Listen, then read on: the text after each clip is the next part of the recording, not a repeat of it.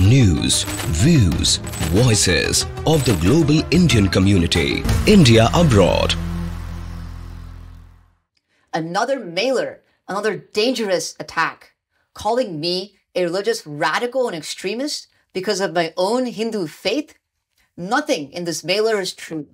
I've always stood up for my community. And let me be clear, Shawn Still would have never made such an attack if I wasn't a Hindu. Look, policy and values are fair game for political campaigning, but religion is not. Let me repeat, attacking our citizens based on their faith has absolutely no place in our society. Let me tell you more about my faith. I'm a proud Hindu American. I created the first Hindu Dharmic Law Student Association in the world.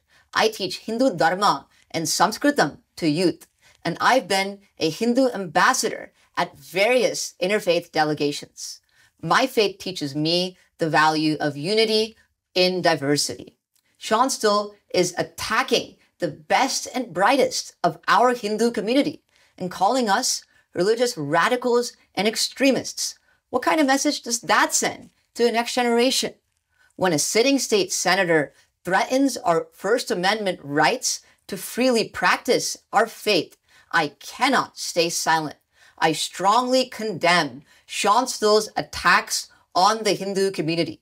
We all must arise, awake, and stand up for what is right.